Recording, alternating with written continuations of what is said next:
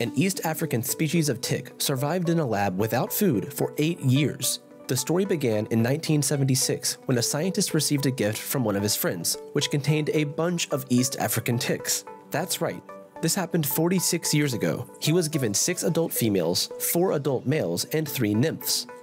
Fast forward to 2022, 46 years later, the ticks are still alive and, well, ticking. First, the scientist didn't know what to do with the gift, so he decided to keep the ticks in his lab to keep him company while he observed them in stable conditions. His long experiment led him to a fascinating discovery about the species' survival and reproduction tricks. In 1984, he ran out of a suitable food source for the ticks. Little did he know, the original group of ticks would survive until the next century, growing up and making a family, with many offspring alive and reproducing today.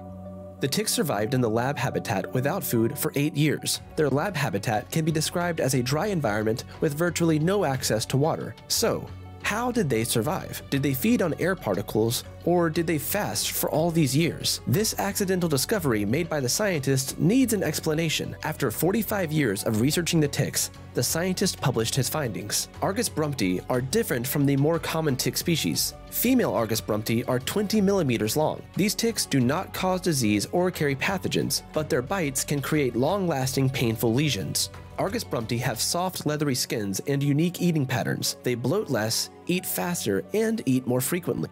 Although they are efficient eating machines, the scientist didn't have any more food to feed them after he ran out of lab rabbits, mice, and rats that he used to give the ticks. But it turns out that the ticks were able to survive with longer breaks in between meals, really long breaks. Four years after the scientist had stopped feeding them, the last original male tick died, the ticks were still surviving without any food aid. The females continued to live for another four years, so the scientist decided to feed the female ticks when he made another interesting discovery. At least one of the original females reproduced and laid a batch of eggs.